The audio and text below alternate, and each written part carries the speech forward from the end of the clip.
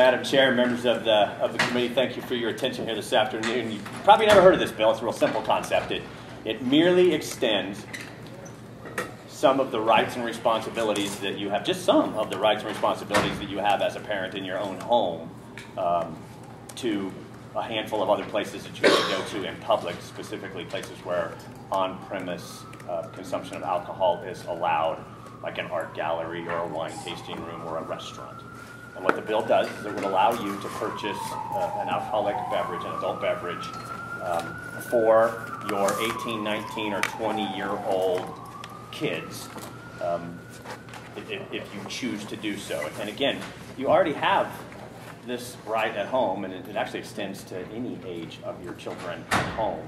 And now what we're doing is just the possibility of bringing this to a handful of other places that you might go with your kids.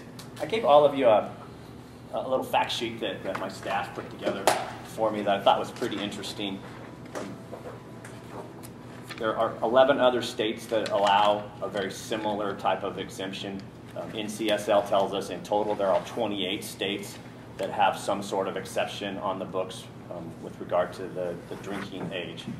And what was interesting that we found when we were looking at this was that in states where this is allowed, the 11 states where this is allowed, um, almost all of the states see a, a decrease in drunk driving and underage drinking. And I think that's an important benefit from a bill like this, because what we're really doing here is we are extending to responsible parents the ability for them to show their kids how to enjoy an adult beverage in public. And under our existing laws, um, that's not allowed. I think we should be able to do that. I'll be happy to take any questions if you have any.